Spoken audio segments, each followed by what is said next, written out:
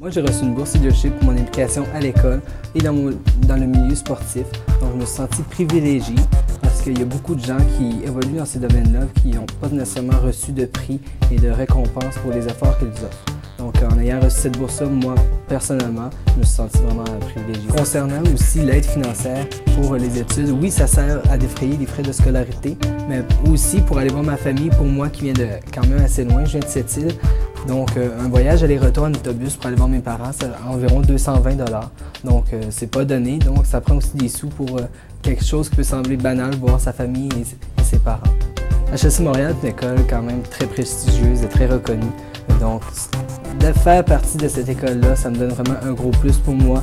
je me sens vraiment privilégié d'avoir étudié ici, en même temps de recevoir une bourse qui vient de donateurs qui font confiance à HSC Montréal ça me fait vraiment un petit velours quand je montre mon CV aux gens. Puis je peux dire je suis HSC Montréal, puis j'en suis fier. Un gros merci à tous les généreux donateurs qui contribuent au succès de HSC Montréal. Puisqu'on sait que les donateurs sont présents partout de l'école, la vie étudiante ne serait pas pareille sans eux. Et les étudiants ne seraient pas aussi chanceux d'étudier ici si eux n'étaient pas là. Donc merci beaucoup